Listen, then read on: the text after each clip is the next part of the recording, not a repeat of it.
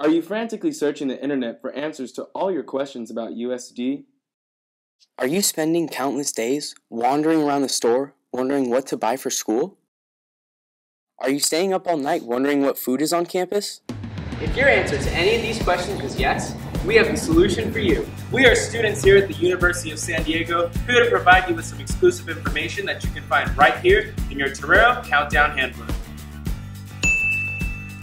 The Torero Countdown Handbook is full of essential information to prepare you for USD. It has important steps to complete, even what to bring.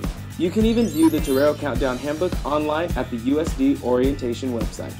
Food on your mind? We've got you covered with dining dollars, campus cash, and meal plans. The Torero Countdown Handbook covers it all.